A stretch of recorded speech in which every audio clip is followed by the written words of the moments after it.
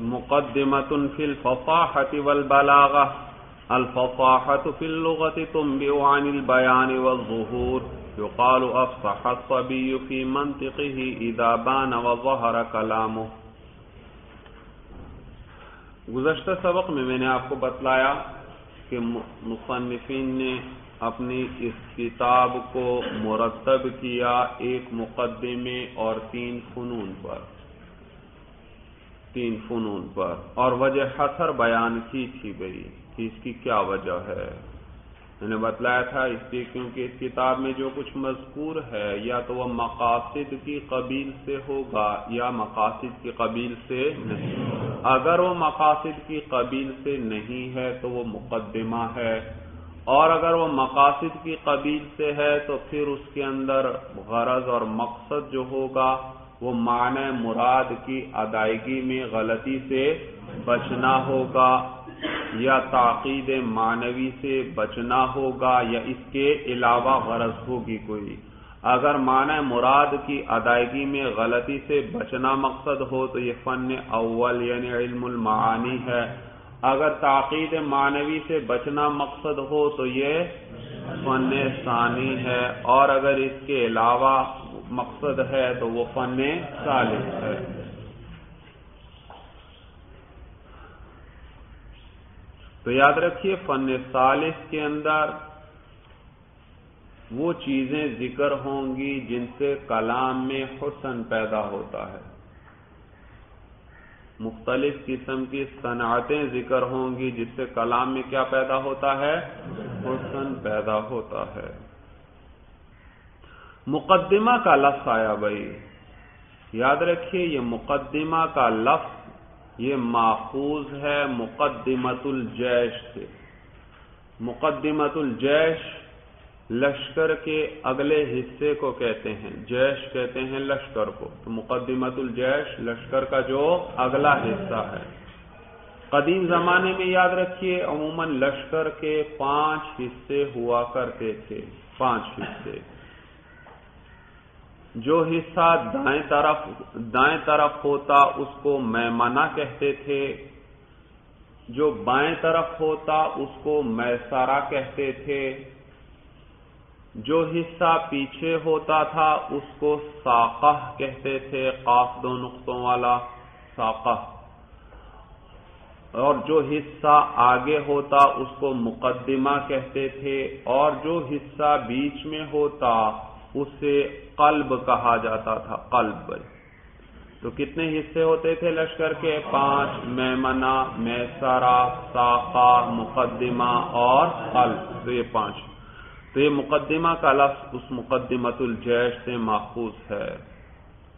جیسے وہ لشکر کے آگے ہوتا تھا، اسی طرح یہ حصہ بھی باقی کتاب سے مقدم ہوتا ہے، پہلے ہوتا ہے۔ تو یہ مقدمہ بامان متقدمہ کے ہوا۔ یہ مقدمہ کس معنی میں؟ متقدمہ۔ اس لیے کیونکہ قدمہ یقدم تقدیم کے معنی ہوتے ہیں آگے کرنا۔ تو مقدمتن اس میں فائل آیا۔ کیا معنی ہوا؟ آگے کرنے والا۔ تو یہ مقدمہ مقاصد کو آگے کرتا ہے اپنے سے یا خود ان پر پہلے آگے آ جاتا ہے؟ خود پہلے آتا ہے تو معلوم ہو یہ آگے کرنے والا نہیں ہے، بلکہ متقدماتن آگے ہونے والا ہے۔ یہ خود کیا ہے؟ ان سے آگے ہو گیا۔ سورج سمجھ میں آ گئی بھائی مان۔ پھر معلوم ہوا یہ مقدمتن کس معنی میں ہے؟ متقدمہ۔ متقدمہ کا معنی ہے آگے ہونے والا۔ تو یہ بھی کیا ہے؟ خود آگے ہے بھائی۔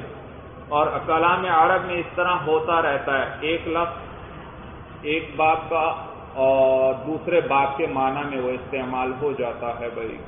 تو یہ مقدمتن کس معنی میں ہوا؟ متقدمتن کے معنی میں ہوا۔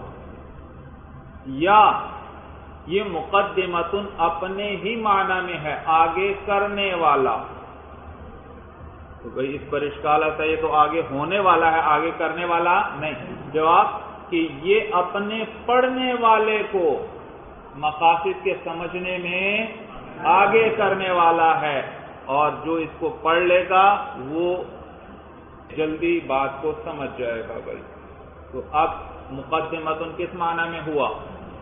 مقدمہ ہی کے معنی میں آگے کرنے والے۔ کس کو آگے کرتا ہے؟ اپنے پڑھنے والے کو مقاصد کے سمجھنے میں آگے کر دیتا ہے، وہ جلدی بات سمجھ لیتا ہے۔ تقریر سمجھ میں آئی یہاں تک بھائی؟ یا تو مقدمت ان کس معنی میں ہے؟ متقد خود آگے ہے، اس لیے متقدمت ان کے معنی میں۔ یا اگر اس کو اپنے ہی معنی میں رکھیں، آگے کرنے والا، تو کس کو یہ آگے کرنے والا ہے؟ مقاصد کو تو آگے نہیں کرنے والا، پھر کس کو آگے کرنے والا ہے؟ اپنے پڑھنے والے کو آگے کرنے والا ہے، اس کو جلدی آگے مقاصد سمجھ میں آ جائیں گے بھائی۔ تو یہ مقدمہ ہے۔ فل ففاحتی والبلاغتی۔ اور اس میں کیا بیان کریں گے؟ فصاحت و بلاغت کا معنی بیان کریں گے بھائی، فصاحت و بلاغت کا۔ تو کہتے ہیں، الفصاحت فی اللغت تم بھی عن البیان و ظہور امبا یم بھی او امبا کے معنی ہوتے ہیں خبر دینے کے، بتلانے کے۔ الفصاحت فی اللغت اللغت، لغت کسے کہتے ہیں؟ زبان زبان۔ اللغت، الاسلام آیا بھائی۔ معلوم ہوا کوئی خاص زبان مراد ہے؟ کون سی زبان مراد ہے؟ کس زبان میں فصاحت کے قواعد ہم پڑھ رہے ہیں؟ عربی زبان کے فصاحت کے قواعد یہاں ذکر ہوں گے بھائی۔ اگرچہ اور زبانوں میں بھی یہ قوانین جاری ہوتے ہیں، لیکن یہاں پر ہم عربی زبان کے اعتبار سے بالخصوص پڑھ رہے ہیں تاکہ قرآن کی فصاحت و بلاغت کو جان سکیں بھائی۔ تو اللغت سے کیا مراد ہے؟ عرب عربی زبان بھائی۔ تو کہتے ہیں، الفصاحت فی اللغتی، فصاحت کا لفظ عربی زبان میں تم بھی او وہ خبر دیتا ہے، وہ بتلاتا ہے، عن البیان و ظہور، کس کے خبر دیتا ہے؟ بیان اور ظہور کی۔ بیان اور ظہور کا ایک معنی ہے، یہ عطف تفسیری ہے۔ بھائی یہ جو ظہور کا عطف ہوا، بیان پر یہ عطف کون سا ہے؟ عطف تفسیری، جانتے ہو یا نہیں جانتے بھائی؟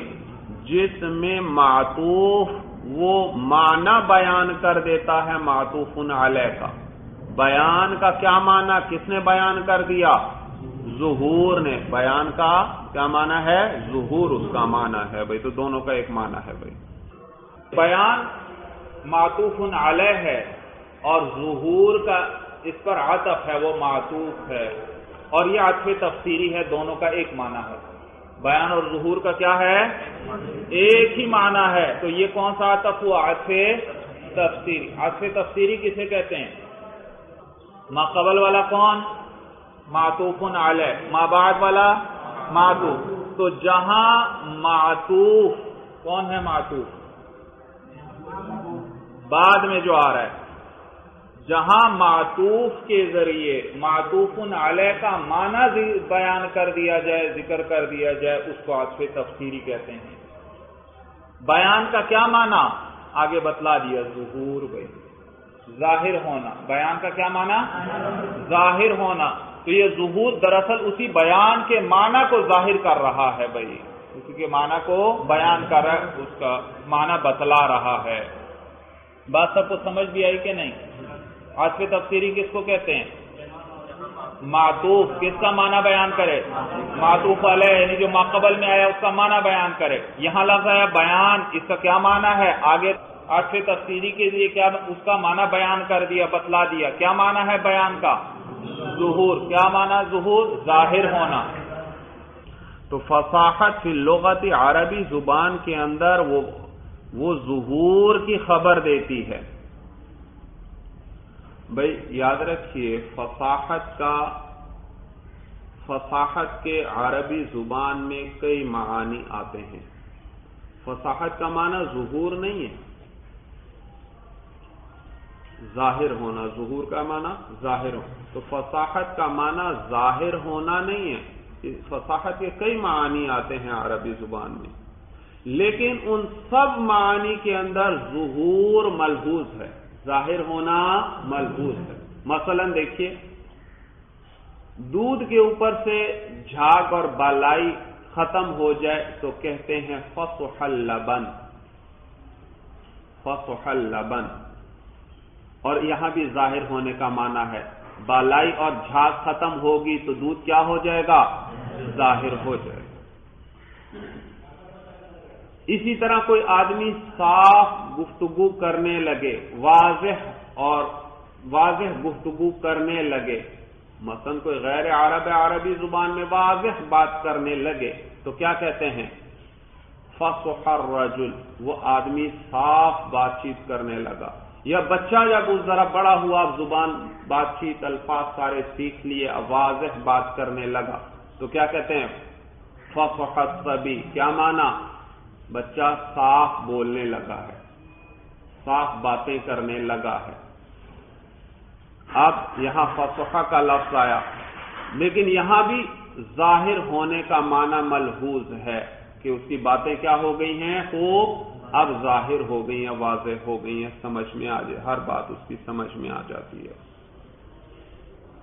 یا اسی طرح صبح ہو روشنی ہو جائے تو عربی میں کہتے ہیں، افصحت صبح صبح ہو گئی۔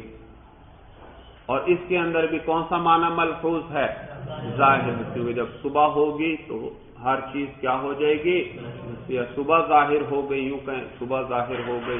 یا ہر چیز کیا ہو جاتی ہے؟ روشنی ہوتی ہے تو ہر چیز ظاہر ہو جاتی تو فصاحت کا اپنا معنی ظاہر ہونا نہیں، اس کے کئی معانی آتے ہیں، لیکن ہر معنی کے اندر کیا ملحوظ ہے؟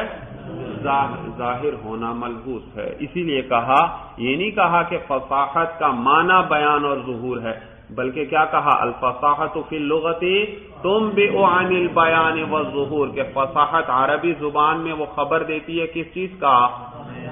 ظہور اور بیان کا کی خبر دیتی ہے اس کا اس سے پتہ چلتا ہے۔ کہ ظہور یا بیان ہوا ہے کسی قسم کا۔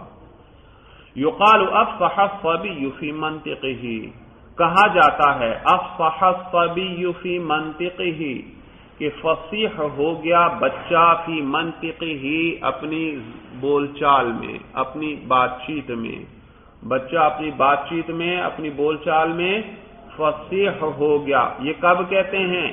اذا بانا و وہارا کلام یہ پھر آج سے تفسیری آیا۔ بانا کا معنی کس کے ذریعے کر دیا گیا؟ زہارا کے ذریعے بانا کے معنی ظاہر ہونے کے۔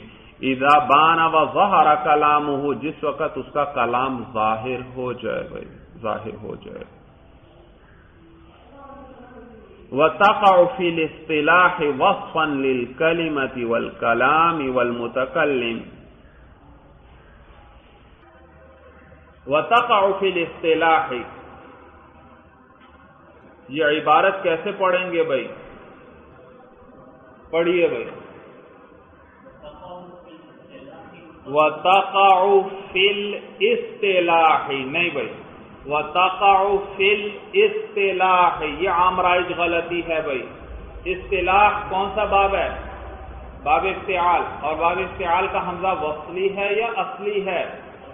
وصلی ہے۔ اور حمزہ وصل کے بارے میں آپ ضابطہ پڑھ چکے ہیں کہ درج عبارت میں حمزہ وصل گر جاتا ہے۔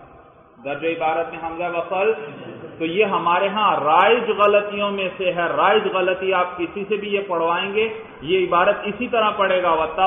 فل اصطلاح وہ حمزہ وصلی پڑھے گا۔ حالانکہ صاحب کافیہ، جنہوں نے کافیہ جیسی عظیم کتاب نحو کے اندر لکھی اسی طرح صرف کے اندر انہوں نے ایک عظیم کتاب شافیہ لکھی گئی اس کے اندر وہ فرماتے ہیں وہ اس بات لہن حمزہ وصل کو ثابت رکھنا وصلن وصل کی حالت میں لحن یہ کیا ہے؟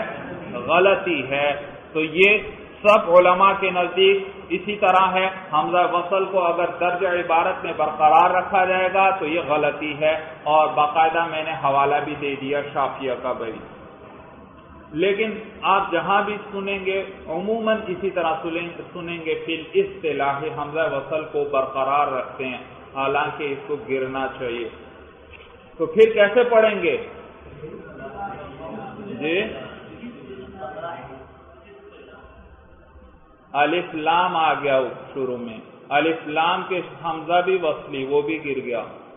لام ساکن سعود بھی ساکن، تو لام کو الساکن اذا حرک حرک بالکسر تو لست لاحق کیا پڑھے لست لام کو کسرہ دے کر سعود سے ملائیں گے. لست لاحق اچھا اب پیچھے فی کو کیسے پڑھیں گے؟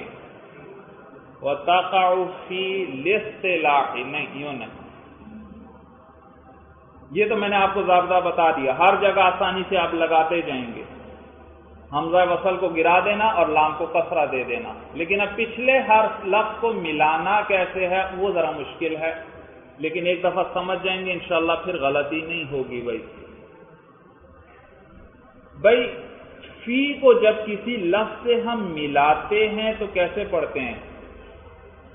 فی ادار اس کو ذرا ملا کر پڑھو۔ فدار فدار معلوم ہوا یا گر گئی۔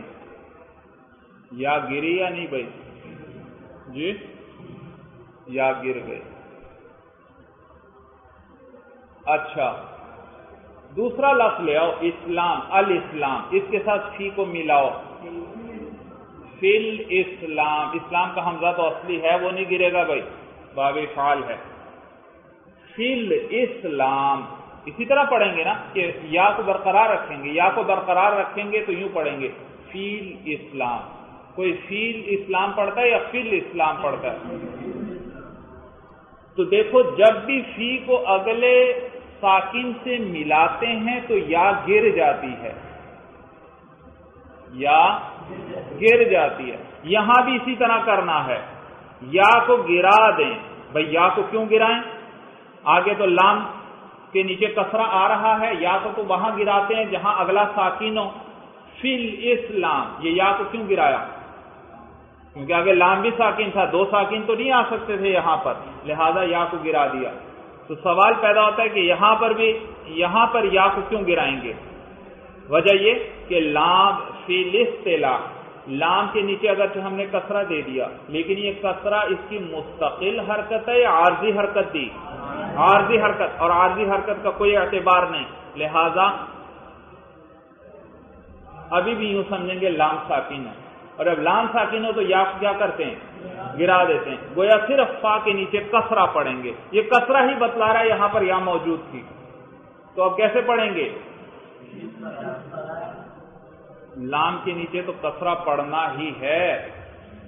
وہ تو میں نے بتا دیا لسٹ لاکھ میں کوئی تبدیلی نہیں کرنی۔ ما قبل کی اب بات سمجھا رہا تھا۔ فی نہیں پڑھنا، بلکہ کیا پڑھنا ہے؟ فی فی، صرف فا کے نیچے کسرہ پڑھیں۔ فی لسٹ لاکھ، فی لسٹ لاکھ۔ کیسے پڑھیں گے؟ فی لسٹ لاکھ، فی لسٹ لاکھ۔ تو دیکھیے، تیزی سے آپ پڑھیں گے، کسی کو بھی پتہ نہیں چلے گا کہ آپ نے فل اصطلاح پڑھا یا فل اصطلاح پڑھا بھائی۔ طریقہ سمجھ میں آیا؟ اگر یہاں مین ہوتا، پھر کیسے پڑھتے؟ جی۔ وہی الاسلام کے ساتھ ذرا جوڑ کے بتاؤ۔ مین الاسلامی معلوم ہوا نون پر کیا پڑھتے ہو؟ فتحہ۔ تو وہی یہاں صورت بتا دو، بنا دو بھائی۔ مینا، پھر بولی بھائی لسٹ علاق تو بن چکا، اس میں کوئی تبدیلی نہیں ہونی۔ اس سے ماقبل کی حرکت اب ہم بنا، کر رہے ہیں کہ کس طرح اس کو پڑھنا ہے بھائی۔ مینال، پھر لام کو ساکن دوبارہ کر دیا۔ مینا، لسٹ علاق مینا لسٹ علاق طریقہ سمجھ میں آیا؟ تو کسی حرف ماقبل والے کو کیسے پڑھنا ہے؟ وہ ذرا مشکل ہے۔ اس کو کسی اور ساکن کے ساتھ جوڑ کر دیکھو کس طرح وہ جڑتا ہے۔ فی کو ہم نے لام ساکن سے جوڑا، فل بنا تھا۔ معلوم یا گر جاتی تھی۔ فا کے نیچے صرف کسرا رہ جاتا تھا۔ یہاں بھی ہم نے اسی طرح پڑھا۔ فلس اور مین مین کو ساکن سے ذرا ملاؤ۔ کیا بنا؟ مینل۔ اچھا آلہ آ جائے، پھر کیسے پڑھو گے؟ اسلام کے ساتھ ال اسلام کے ساتھ ملاؤ آلہ کو۔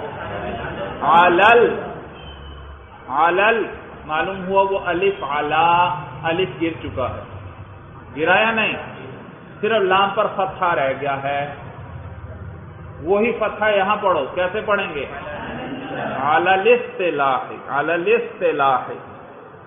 طریقہ سمجھ میں آیا بھائی؟ یہ نئی بات تھی، اس لیے میں نے تفصیل سے آپ کو سمجھائی۔ اور ہر جگہ اسی طرح پڑھو بھائی۔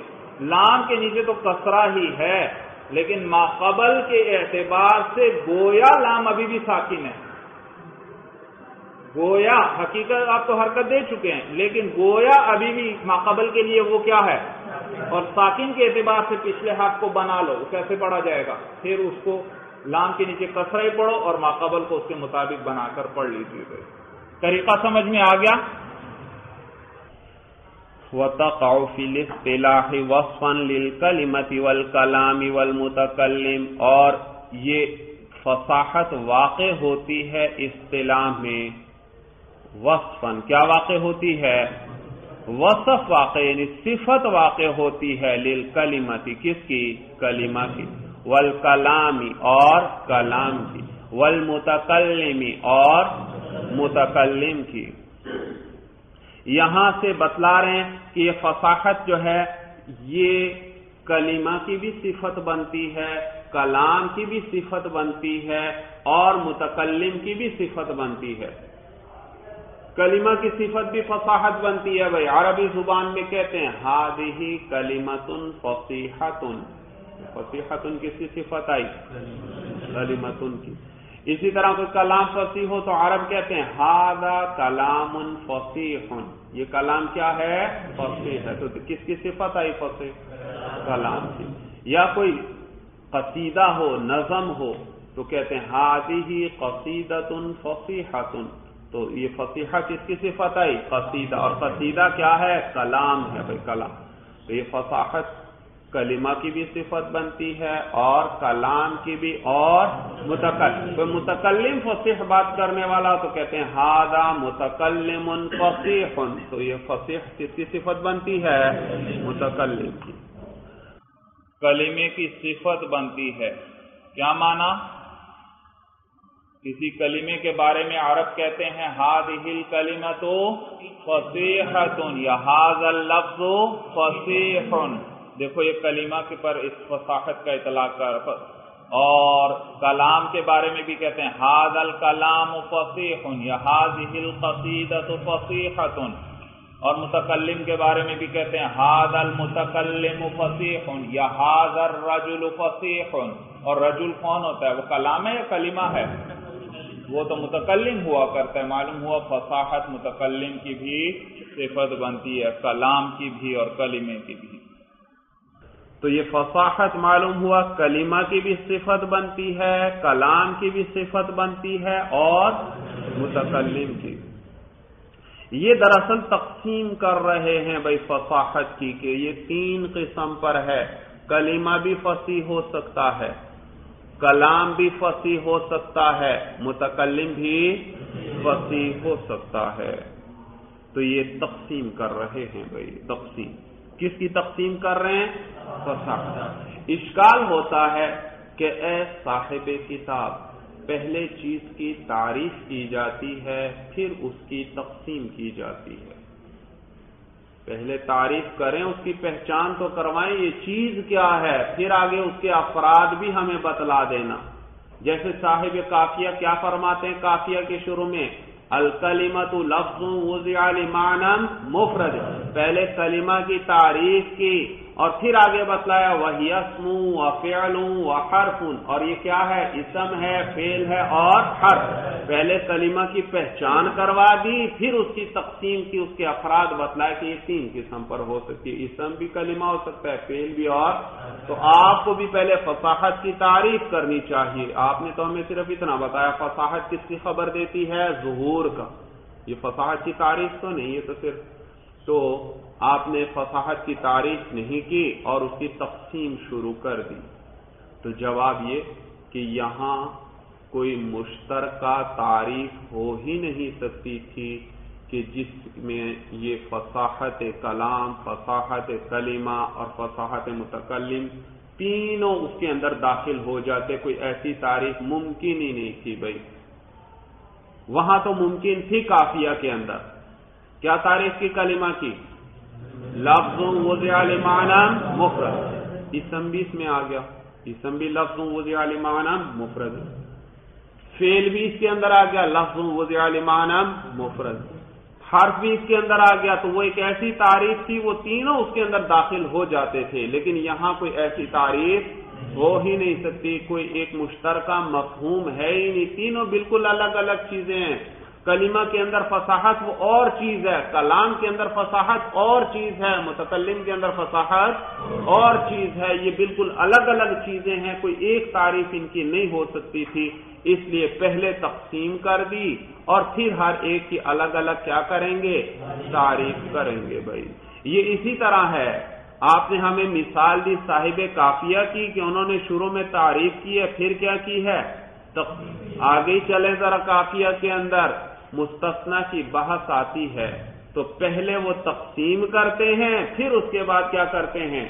تعریف کرتے ہیں کہ مستثنا دو قسم پر ہے، ایک متصل اور ایک منقطع۔ متصل اس کو کہتے ہیں، منقطع اس کو کہتے ہیں۔ تو وہاں، جیسے وہاں ایک مشترک مفہوم نہیں ہو سکتا تھا، تو مجبوراً پہلے تقسیم کی، پھر اس کے بعد ہر ایک کی الگ تعریف۔ یہاں پر بھی پہلے تقسیم کر دی، اب ہر ایک کی کیا کریں گے؟ الگ الگ تعریف کریں گے۔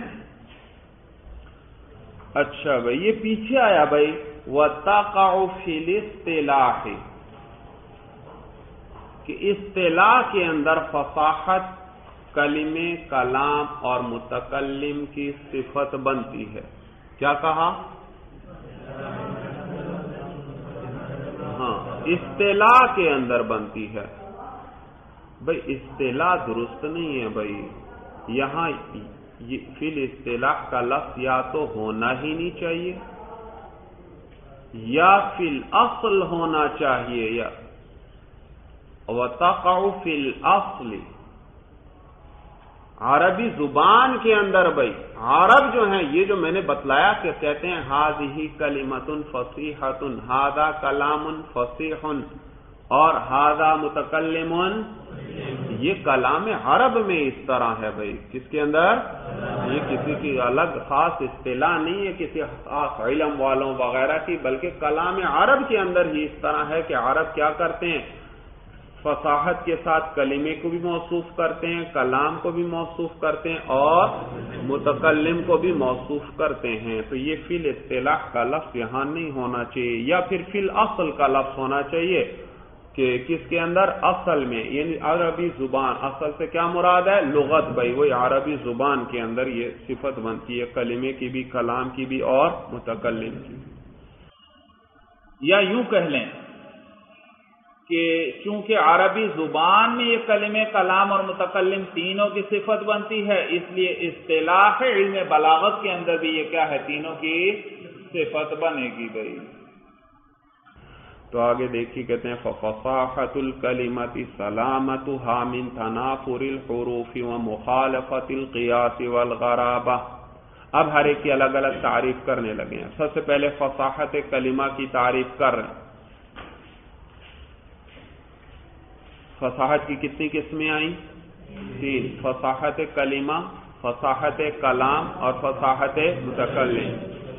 تو سب سے پہلے فصاحت کلیمہ کو ذکر کر رہے ہیں۔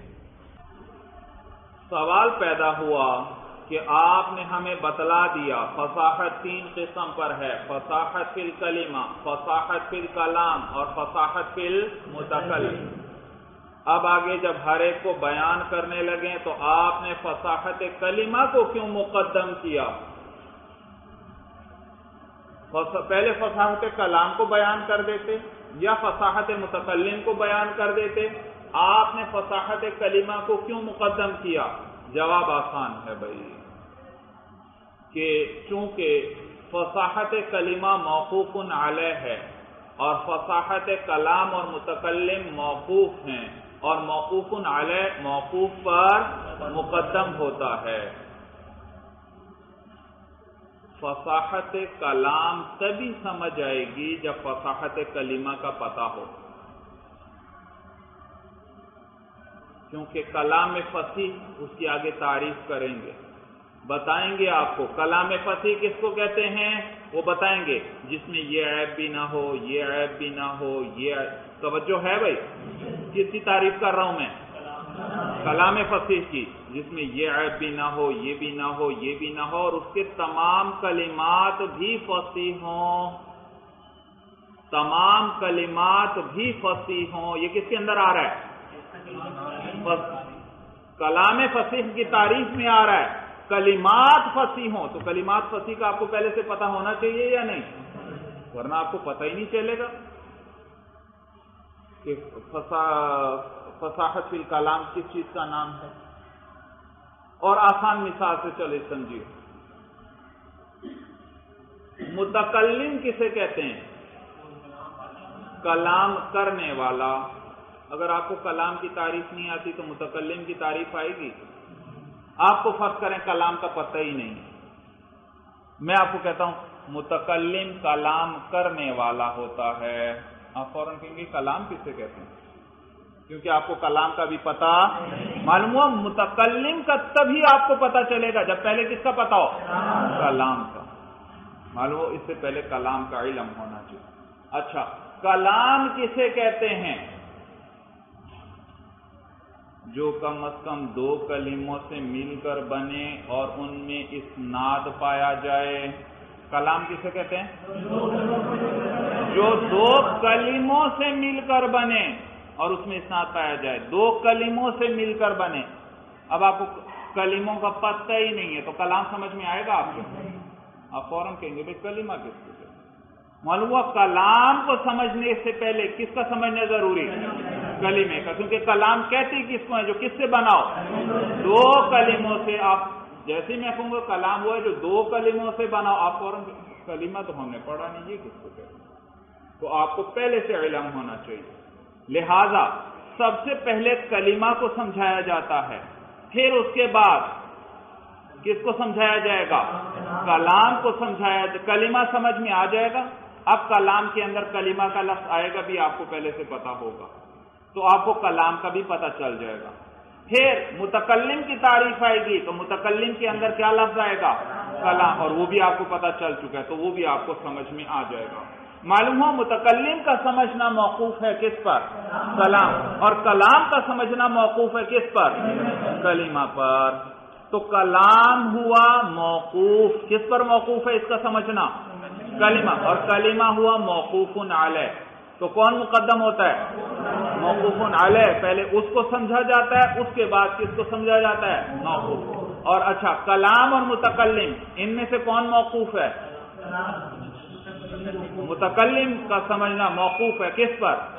کلام پر۔ تو کلام ہوا موقوف علیہ اور متکلم ہوا موقوف۔ پہلے کس کو لائیں گے؟ موقوف علیہ کو پہلے لایا جائے گا اور موقوف کو بعد میں لایا جائے گا۔ تو یہاں پر بھی اسی طرح ہے۔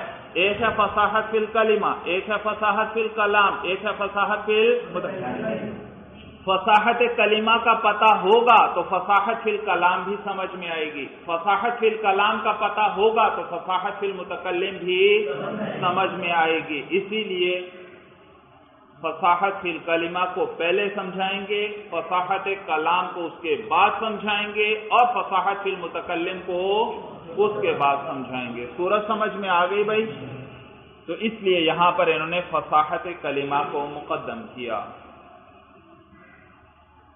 یہ اسی طرح ہے جیسے یہاں فصاحت اور بلاغت دو چیزیں مقدمے میں ذکر کرنی تھی انہوں نے، لیکن ان فصاحت اور بلاغت میں سے کس کو شروع کر دیا؟ فصاحت کو پہلے سمجھانا شروع کر دیا۔ بلاغت آگے جا کر آپ کو سمجھائیں گے۔ تو سوال پیدا ہوتا ہے، بلاغت پہلے کیوں نہیں سمجھائی؟ فصاحت بعد میں سمجھا دیتے اور بلاغت پہلے۔ تو جواب یہی ہے کہ بلاغت کو سمجھنے کے لیے فصاحت کا سمجھنا ضروری ہے، کیونکہ بلاغت کی تعریف میں فصاحت کا لفظ آئے گا۔ تو آپ کو پہلے سے کیا پتا ہونا چاہیے؟ فصاحت کا پتا ہونا چاہیے۔ تو لہذا بلاغت ہوئی موقوف۔ اور فصاحت ہوئی موقوف علیہ۔ تو اور موقوف علیہ مقدم ہوتا ہے۔ اسی وجہ سے یہاں پر بھی انہوں نے فصاحت کو مقدم کیا اور پہلے اس کا ذکر شروع کیا بھائی۔ جی تو آپ سب سے پہلے فصاحت کلمہ کو بیان کریں گے۔ تو کہتے ہیں فصاحت الکلیماتی بس کلمے کی کلمے کا فصیح ہونا جو ہے سلامت وہ کلمے کا سالم ہونا ہے۔ من تنافر الحروف. تین عیبوں سے کلمے کا پاک ہونا ضروری. کلمہ سالم ہونا چاہیے. کس چیز سے؟ تین عیوب. کون سے عیوب؟ من تنافر الحروف. تنافر پہلا عیب کیا ہے؟ تنافر حروف. وہ مخالفت القیاس. دوسرا عیب کیا ہے؟ مخالفت قیاس. اور تیسرا عیب ہے غرابت. کلمہ فصیح وہ ہے جب وہ سالم ہو، وہ سلامت ہو، ان تین عیبوں سے تنافر حروف، مخالفت قیاس اور غرض۔ ان تین عیبوں سے کلمہ جب سلامت ہوگا، محفوظ ہوگا، تو اس کو کیا کہیں گے ہم؟ کلمہ فصیحہ کہیں گے بھائی۔ کلمہ فصیحہ۔ تین عیب اس میں نہ ہو بھائی۔ تین عیب۔ یہ تین عیبوں سے خالی ہونا ضروری ہے بھائی۔ وجہ یہ کہ یہاں تین چیزیں ہیں ہر کلمے کے اندر۔ ایک اس کا مادہ ہے، ایک اس کی صورت ہوتی ہے، اور ایک پھر اس کی اپنے معنی پر دلالت ہوا کرتی ہے۔ جیسے علم کا لفظ۔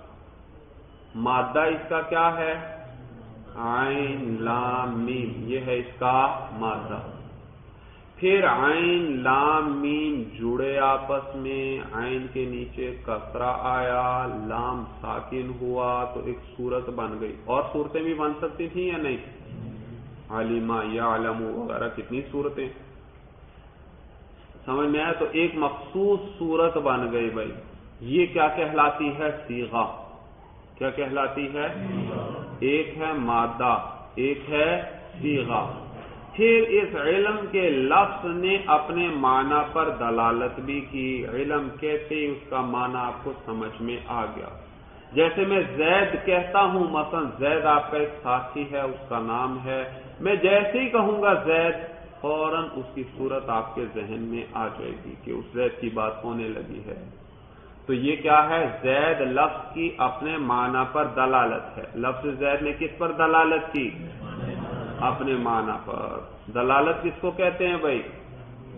ایک چیز سے دوسری چیز کا پتا چل جانا۔ یہ ہے دلالت۔ یہ ہے میں نے تو لفظ بولا۔ آپ کے ذہن میں صورت آ گئی بھائی۔ تو یہ اس صورت پر اس لفظ نے کیا کی؟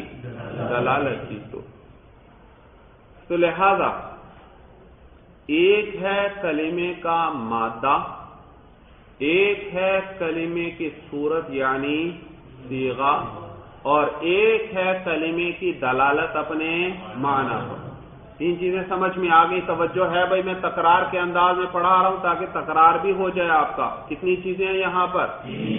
اول کیا ہے؟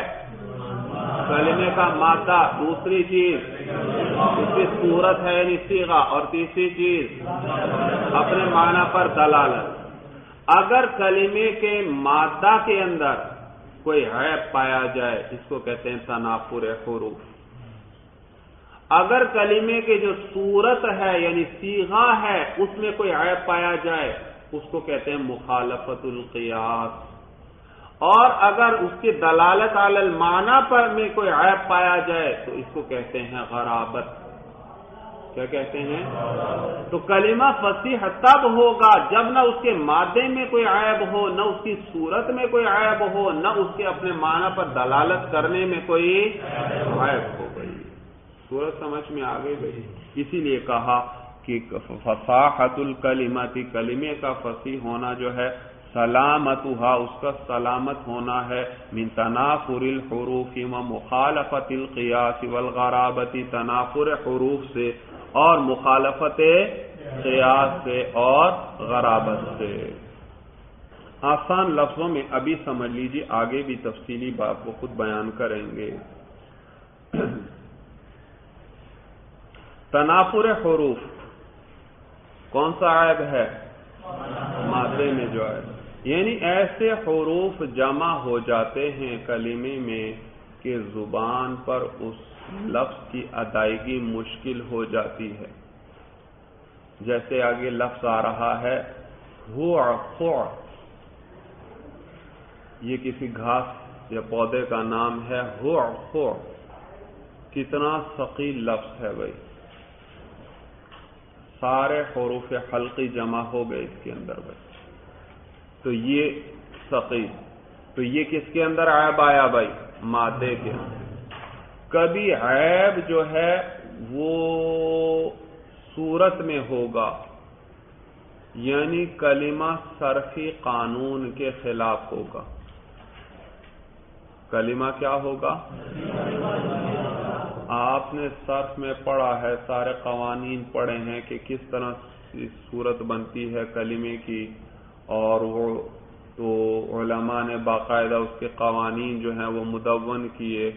تو اگر اس صرفی قانون کے خلاف ہو کلمہ، تو یہ کیا ہے؟ مخالفت قیاس ہے۔ اور اگر دلالت المعنی میں خرابی ہو یعنی لفظ بولا معنی سمجھ میں نہیں آ رہا کسی کو بھائی۔ لفظ کو بولتے ہی کیا ہونا چاہیے؟ ہر ایک کو معنی سمجھ میں؟ ہاں لیکن آپ نے لفظ بولا، کسی کو معنی سمجھ میں نہیں آ رہا۔ معلوم ہوا یہ کیا ہے؟ یہ غرابت ہے، یہ اپنے معنی پر دلالت نہیں کر رہا، ورنہ تو اس کے بولتے ہی فوراً، جیسے زید کا لفظ بولتے ہی فوراً زید کی صورت آپ کے ذہن میں آ گئی تھی۔ اسی طرح اس لفظ کو بولتے ہی فوراً اس کا معنی ذہن میں آنا چاہیے تھا، لیکن آیا نہیں، معلوم ہوا۔ یہ اپنے معنی پر صحیح طریقے سے دلالت نہیں کر رہا، خرابی ہے کچھ بھائی چلیے بس بھائی المرام، اللہ عالم بھی الکلام۔